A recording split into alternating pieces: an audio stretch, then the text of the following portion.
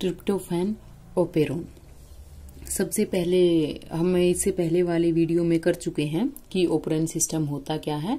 क्या होता operon system cluster of genes with related function कि काफ़ी सारे जीन्स मिलकर के कॉमन फ़ंक्शन करते हैं तो वो होता है ओपरन सिस्टम और हमने उसमें डिस्कस किया था कि जो ओपरन सिस्टम होता है, वो दो तरीके से फॉर्म होता है। क्या दो तरीके से कौन सा? लैक ओपरोन और दूसरा क्या था? ट्रिप्टो सॉरी ओपरन जो है, दो तरीके से फॉर्म होता है लैक प्लस ट्रिप्टोफैन लैक क्या था उसके अंदर? इंड्यूसर था, यानी कि इंड्यूसिबल और ट्रिप्टोफैन क्या था? रिप्रेसर तो लैक, लैक जो ओपरन था यानी लैक्टोज जो ओपरन था क्या था? वो हम पहले कर चुके हैं कि जब लैक्टोज की फॉर्मेशन होती है तो या फिर लैक्टोज वहाँ पर प्रेजेंट होता है तो वो ऑन हो जाता है और अगर लैक्टोज नहीं होता तो वो ऑफ़ हो जाता है। लेकिन ये क्या है? इसके जस्ट अपोजिट है। अपोजिट क्या?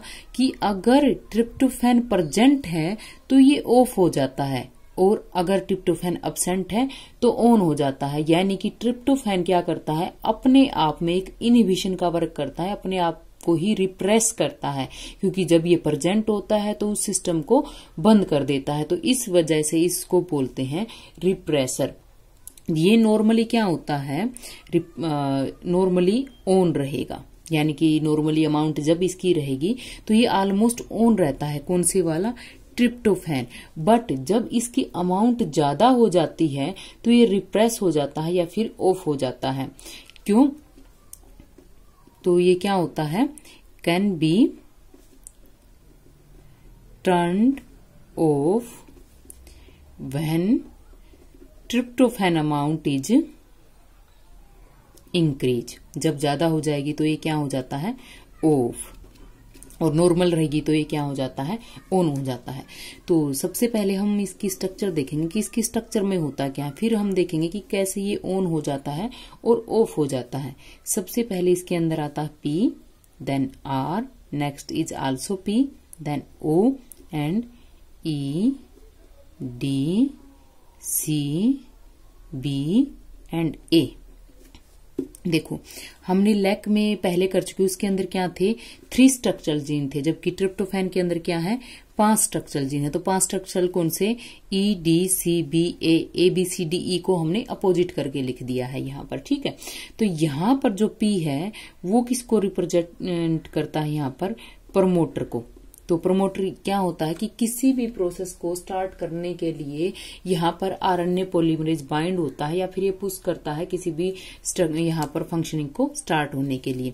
तो यहाँ का फ़ंक्शन क्या है कि आरण्य पोलीमरेज आकर के बाइंड करेगा और प्रोसेस को स्टार्ट करवाएगा। स्टार्ट किसके? नेक्स्ट इसके है क्या? रिप्रेसिबल जीन या फिर हम कह देते हैं इसको रेगुलेटरी जीन ये जो रेगुलेटरी जीन है तो यहाँ पर जब आरएनए पोलिमरेज बाइंड किया है तो इस रेगुलेटरी जीन को यहाँ पर ट्रांसक्राइब करवाएगा। तो ये रेगुलेटरी जीन जब ट्रांसक्रिप्शन होगा इसके अंदर तो किसकी फॉर्मेशन करेगा ये? ऑब्वियसली ट्रांसक्रिप्शन के अंदर हम पढ़ चुके हैं डीएनए से किसकी फॉर्मेशन होगी? एमआरएनए की।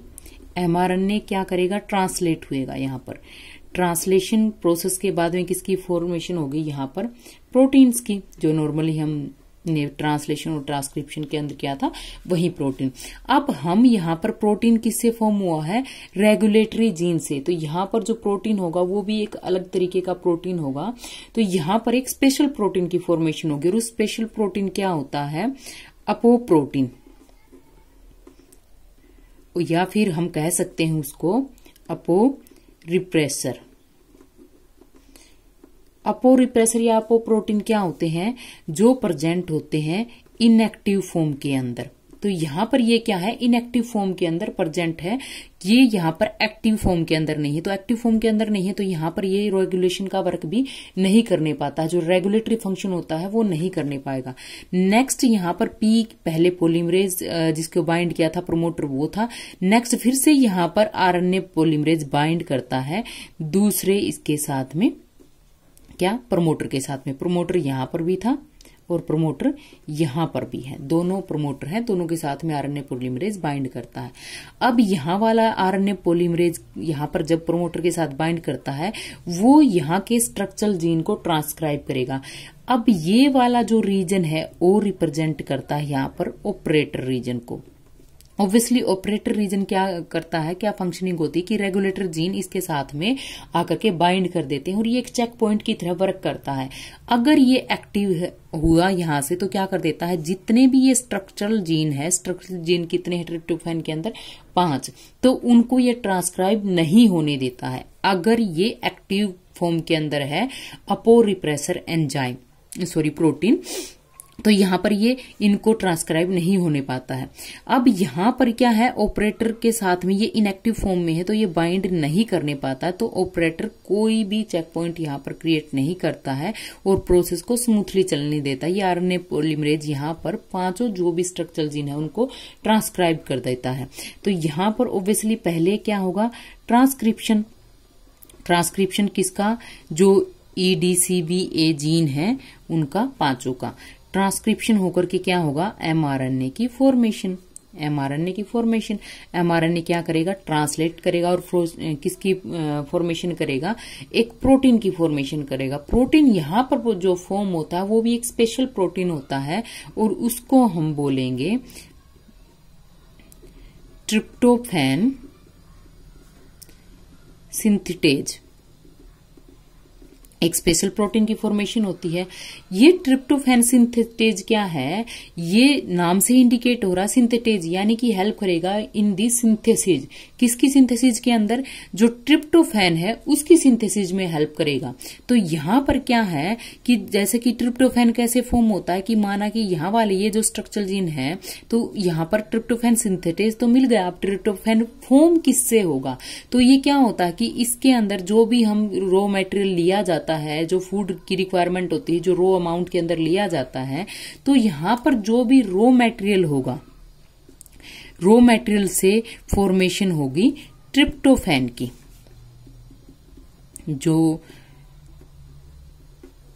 नॉर्मली हम जिसके लिए कर रहे हैं ट्रिप्टोफैन की फॉर्मेशन तो यहाँ से रो मटेरियल से ट्रिप्टोफैन कन्वर्ट होने के लिए एक स्पेशल प्रोटीन या एंजाइम की रिक्वायरमेंट रहेगी और वो क्या होगा? ट्रिप्टोफैन सिंथेटेज तो यहाँ से जो भी रो मटेरियल इसके द्वारा इंगेस्ट किया जाता है तो ट्रिप्टोफैन सिंथेटेज की हेल्प से वो ट्रिप्टोफैन के अंदर कन्वर्ट हो जाता है।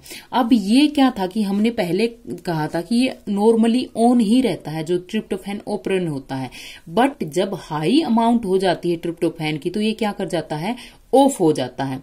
तो इसके अंदर ये क्या रहता है कि नॉर्मली ऑन रहता है, ठीक है? But if increase in amount of tryptophan then it's become off अब ये ऑफ़ कैसे रहेगा? तो उसके अंदर क्या है कि हम दोबारा से इसकी जो स्ट्रक्चर है, उसको यहाँ से दोबारा से ड्रॉ करेंगे। ड्रॉ में सेम स्ट्रक्चर रहेगी यहाँ पर। सबसे पहले क्या था? P promoter regulatory gene next again is promoter operator structural gene कौन से? E D C B and A ये है स्ट्रक्चर अब यहाँ पर प्रोमोटर पे क्या कर गया? आरएनए पोलिमरेज बाइंड कर गया। बाइंड करके किसकी फॉर्मेशन करेगा? ये जो रेगुलेटरी प्रोटीन है उसकी। बट यहाँ पर रेगुलेटरी प्रोटीन क्या था? वो था इनएक्टिव फॉर्म के अंदर, या फिर अपोरिप्रेसर था। ये इनएक्टिव फॉर्म के अंदर था। सेम यही प्रोसेस कंप्लीट दोबारा से इसके अंदर होगी, क्योंकि ये जो आर आरएनए पोलिमरेज यहाँ पर प्रोमोटर से बाइंड किया सेम वही प्रोसेस को फॉलो करता है। ठीक है? तो यहाँ वाले रीजन के अंदर। अब मैंने क्या कहा था कि ट्रिप्टोफैन अगर इंक्रीज है ट्रिप्टोफैन इंक्रीज कैसे कि माना कि बॉडी को रिक्वायरमेंट है 50 ट्रिप्टोफैन की और फॉर्मेशन उसके अंदर हो रही है 55 की हो गई। तो ये एक्स्ट्रा हो गया, ये एक्स्ट्रा पाँच क्या कर देते हैं? यहाँ पर जो भी एक्स्ट्रा ट्रिप्टोफैन है, वो आकर के इसके साथ में बाइंड कर देते हैं। बॉडी की ग्रोथ के लिए कॉन्टिन्यूसली यहाँ पर जो ट्रिप्टोफेन है, उनकी रिक्वायरमेंट रहती है, लेकिन ज़्यादा हो जाते हैं तो वो एक्सेस अमाउंट में है तो उनकी रिक्वायरमेंट नहीं, एक स्पेसिफिक अमाउंट की ज़रूरत होती है उसको अपनी फंक्शनिंग को करने के लिए बॉडी को। तो यहाँ पर जो एक्स्ट्रा ट्रिप्टोफेन थे, यानी कि पचास से पिचपन की फॉर्मेशन हुई थी तो पिचपन से पचास की ज़रूरत थी, पिचपन वहाँ पर फॉर्म हो गए तो एक्स्ट्रा कितने हुए? पाँच। तो पाँच जो एक्स्ट्रा है, यहाँ पर जो इनएक्टिव प्रोटीन था, उसके साथ में आकर के बाइंड कर गए। और आकर के बाइंड जब करते हैं तो ये जो इनएक्टिव जो प्रोटीन था, वो एक्टिव प्रोटीन के अंदर कन्वर्ट हो जाता है। और वो एक्टिव प्रोटीन कौन सा था? रिप्रेसर प्रोटीन ऑब्वियसली यहाँ पर रेगुलेटरी जीन है तो रेगुलेटरी जीन किसकी फॉर्मेशन करेगा? जो रिप्रेसर प्रोटीन है, उन्हीं की फॉर्मेशन करेगा ट्रांसलेशन प्रोसेस के बाद में। तो इससे क्या होता है? ये जो रिप्रेसर प्रोटीन है, यहाँ पर एक्टिव फॉर्म के अंदर है। एक्टिव फॉर्म के अंदर है तो ये क्या कर जाता है? यहाँ पर एक्टिव फॉर्म के अंदर है तो रेगुलेटरी जो प्रोटीन होते हैं या रिप्रेसर प्रोटीन होते हैं, वो ऑपरेटर के साथ में हमेशा बाइंड कर देते हैं। ठीक है? तो यहाँ पर जैसे ही आकर के पोलिमरेज बाइंड करेगा तो यहाँ पर चेक पॉइंट क्रिएट हो चुका है, यानी कि अब प्रोसेस आगे नहीं जाएगी। ये प्रोसेस को यहाँ पर स्टॉप कर देगा, क्योंकि यहाँ पर रास्ता आगे ब्लॉक हो चुका है, क्योंकि यहाँ पर रिप्रेसर एक्टिव प्रोटीन यहाँ पर ज्वाइन कर चुके हैं ऑपरेटर के साथ में। तो ये जो स्ट्रक्चरल जीन है, वो ट्रांसक्राइब नहीं होंगे। तो इस तरीके से क्या हो जाता है कि यहाँ पर कोई भी ऑपरेटर यहाँ पर ब्लॉक हो चुका है और ब्लॉक होकर के नो ट्रांसक्रिप्शन ट्रांसक्रिप्शन किसका नहीं होता? ट्रिप्टोफैन का, क्योंकि अगर यहाँ पर ऑपरेटर ब्लॉक नहीं हुआ था पहले तो ट्रांसक्रिप्शन हो रहा था स्ट्रक्चरल जीन का। उन्होंने क्या किया था? एक ऐसे प्रोटीन इंजाइम की फॉर्मेशन की थी जो ट्रिप्टोफैन को बनाने के लिए रिस्पॉन्सिबल था। उसकी फॉर्मेशन में हेल्प कर रहा था। बट यहाँ पर वो प्रोटीन की फॉर्मेशन इंजाइम की फॉर्मेशन ही नहीं हुई तो ट्रिप्टोफैन कैसे फॉर्म हुएगा? नहीं हुएगा तो ट्रिप्टोफैन यहाँ पर नहीं फॉर्म होने पाता। अब ये तो बात थी कि माना कि क्या होगा कि ट्रिप्टोफैन वहाँ पर ज़्यादा अमाउंट है तो वो ऑफ़ हो गया। ऑफ़ होने के बाद हम ये कहेंगे कि वहाँ पर तो फिर ज़्यादा अमाउंट में ही रहेंगे दोबारा से ऑन होने नहीं पाएगा। तो ऐसा नहीं है। इसके अंदर क्या है? दोबारा से ऑन कब होगा ये? दोबारा से ऑन होने के लिए क्या होगा? माना कि यहाँ पर 50 ट्रिप्टोफैन की रिक्वायरमेंट थी, लेकिन हो कितने गए हैं? 55 अब बॉडी को कॉन्टिन्यूसली क्या है? ट्रिप्टोफैन की रिक्वायरमेंट है अपनी ग्रोथ के लिए। तो यहाँ पर ये जो ट्रिप्टोफैन फॉर्म हो रहे हैं धीरे धीरे बॉडी इनको कंज्यूम करना स्टार्ट करेगी, उनको लेग इनटेक करेगी। तो यहाँ पर माना कि पचास में से पाँच नेगेटिव तो कितने हो गए? फोर्टी फाइव माना कि पाँच ट्रिप्टोफैन यूज़ कर ली है बॉडी ने, जो पचास की फॉर्मेशन हुई थी। तो यहाँ पर पाँच क्या थे? ये इसको स्टॉप किए हुए थे, ठीक है? तो यहाँ पर फोर्टी फाइव रह गए। अब बॉडी को कितने की ज़रूरत थी? फिफ्टी की। तो यहाँ से पाँच जो एक्स्ट्रा थे, वो पाँच आकर के इसके साथ में ज्वाइन कर गए। तो दोबारा से कितने हो गए? फिफ्टी हो गए। यहाँ पर तो प्लस फाइव थे एक्स्ट्रा पाँच थे। तो दोबारा से जब फिफ्टी हो गए तो रिक्वायरमेंट ही फिफ्टी की थी। तो दोबारा से क्या हो जाता है कि ट्रिप्टोफैन ऑन हो जाता है।